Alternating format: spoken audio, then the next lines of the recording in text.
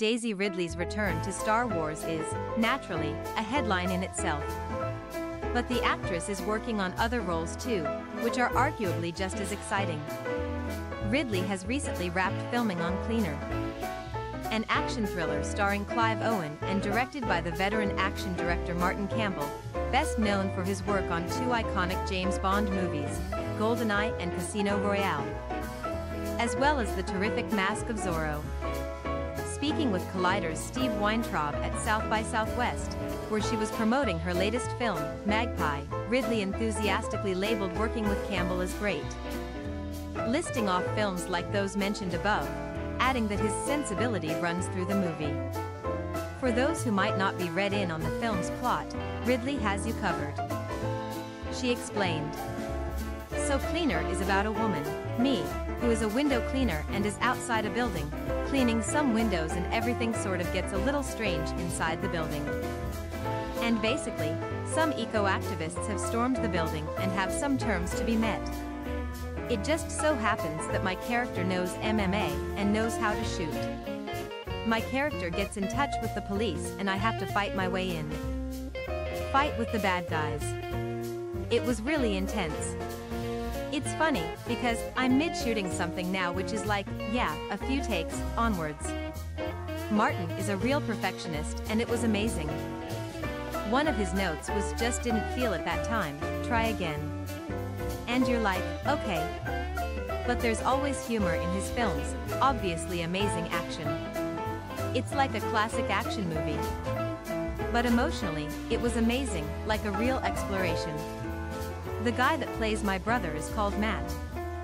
He's amazing, never acted in anything before.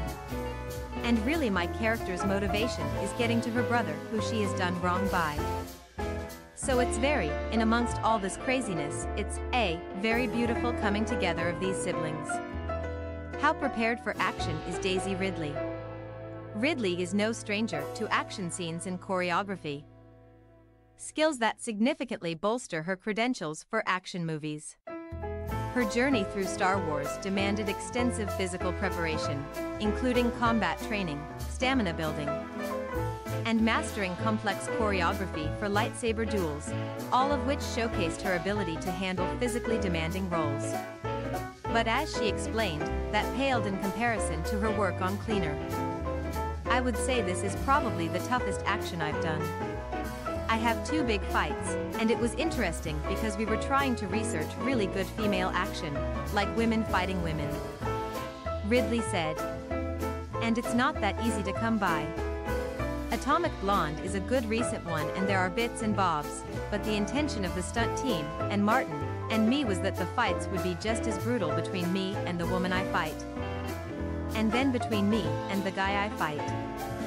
Ridley concluded by adding that, although she was sometimes plagued by self-doubt around her action abilities, the voice inside her that told her to get up and keep going was deafening adding that she couldn't wait to share the finished product with audiences, with the first cut of the movie currently undergoing test screenings.